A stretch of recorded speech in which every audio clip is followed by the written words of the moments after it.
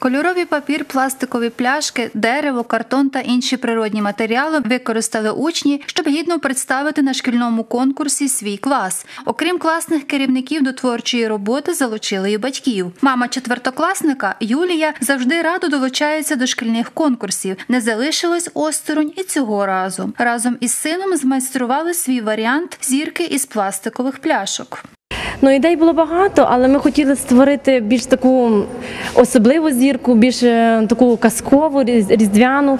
І прийшли такі ідеї, щоб, щоб було цікаво дітям подивитися. Чи важко тобі було робити зірочку різдвяну?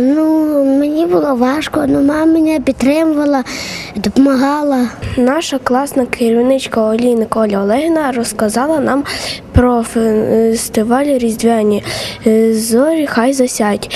І я вирішив взяти участь. Я дуже люблю робити вироби з паперу. І ще я люблю новорічно-різдвяні свята. Це мене спонукало зробити різдвяну зірку. Я робила зірку разом зі своєю мамою та татом. Ми робили зірку із твердого пінопласту, із тюлі та шарфа, який ми обкріплювали булавками. Мені дуже сподобалось робити цю зірку, а особливо з батьками. Вона вийшла дуже яскрава і красива. Взагалі, різдвяна зірка атрибут коляди. Ем, Переважно, що має бути з восьми кутів.